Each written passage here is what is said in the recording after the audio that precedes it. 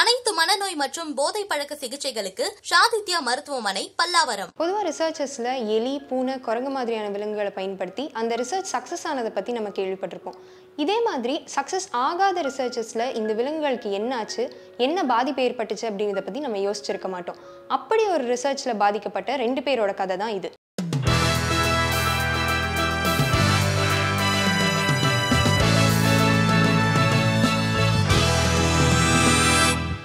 Nineteen thirty ஒனில் comparative சைக்காலஜிஸ்டான Winthrop மற்றும் அவரோட மனைவி ஒரு ரிசர்ச்சை நடத்தினாங்க.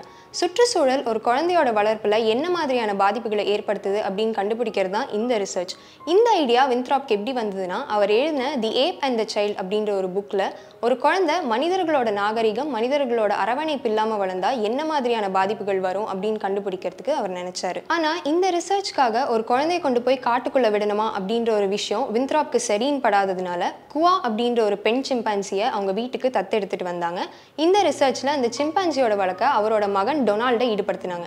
இவங்க ரெண்டு பேர் மேலேயும் ஒரே மாதிரியான பரிசோதனைகளை இந்த தம்பதி செஞ்சாங்க. ஒரு நாளைக்கு பன்னெண்டு மணி நேரம் வாரத்தில் ஏழு நாள் மொத்தம் ஒன்பது மாதம் இந்த ரிசர்ச் நடந்தது. அந்த குழந்தை மற்றும் சிம்பான்சியோட ரிஃப்ளெக்ஸ் ஆக்ஷன் அவங்க எதுக்காக பயப்படுறாங்க எதுக்காக கோவப்படுறாங்க எந்த அளவுக்கு மனுஷங்க சொல்கிறத புரிஞ்சுக்கிறாங்க எதுக்கெல்லாம் அவங்க ஒபே பண்ணி நடக்கிறாங்க ஒரு சேரில் உட்கார வச்சு அவங்கள சுற்றி விட்டு அவங்களோட ரியாக்ஷன் எப்படி இருக்குது கில்லுனா அவங்க எப்படி அதுக்கு ரியாக்ட் பண்ணுறாங்க அப்படின்ற டெஸ்ட்ஸ் எல்லாம் இந்த தம்பதி அந்த குழந்தைங்க மேலே பண்ணாங்க. ஆனால் இந்த ரிசர்ச்சோட ரிசல்ட் அந்த தம்பதி எதிர்பார்த்த மாதிரி அவங்களுக்கு வரல. குழந்தை கொஞ்சம் கொஞ்சமாக அந்த சிம்பான்சியோட ஆக்டிவிட்டீஸை காப்பி பண்ண ஆரம்பிச்சுது. சின்ன வயசுலேருந்து ஒன்றாவே வளர்ந்ததுனாலையோ என்னவோ அதிகப்படியாக கோவப்படுறது கோவம் வந்தால் கடிச்சு வைக்கிறது தனக்கு தேவையான சாப்பாடு கிடைக்கலனா குரங்கு மாதிரி சத்தம் போடுறது நாலு காலில் நடக்கிறது மாதிரியான ஆக்டிவிட்டீஸை டொனால்ட் கிட்ட இந்த தம்பதி கவனிக்க ஆரம்பித்தாங்க ரொம்ப ஆர்வமாக அஞ்சு வருஷம் நடத்தணும் அப்படின்னு ஆரம்பிக்கப்பட்ட இந்த ரிசர்ச் அன்சக்ஸஸ்ஃபுல்லாக போய் முடிஞ்சிச்சு. கெலாக்னால அவரோட மகனுக்கும் ஒரு நல்ல வாழ்க்கையை அமைச்சு கொடுக்க முடியல.